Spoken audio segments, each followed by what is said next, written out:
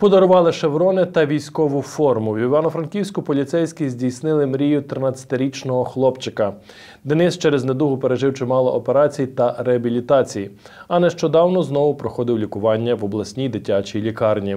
В день народження привітати його прийшли і прикарпатські правоохоронці. 13-річний Денис тривалий час колекціонує військові шеврони. Каже, не збирав їх уже чимало. Льотчиків маю, всі силами. Молодець. Треба свого другого показати. Хлопчик зізнається, його заповітна мрія стати правоохоронцем, а ще мати власну військову форму.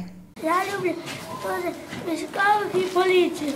З Денисом прикарпатські поліцейські знайомі давно. Вони і раніше вітали його з днем народження.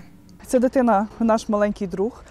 Е, Вперше ми з ним познайомились, до нас звернулася мама про те, що е, дитина з особливими потребами мріє стати поліцейським, і вона просила якось долучитися і здійснити мрію дитини. Це було три роки тому, і ми е, вирішили підтримати цього хлопчика. Ми замовили йому форму. Ми привітали його теж було на день народження. І коли дізналися, що дитину виписують з лікарні, знову завітали у гості.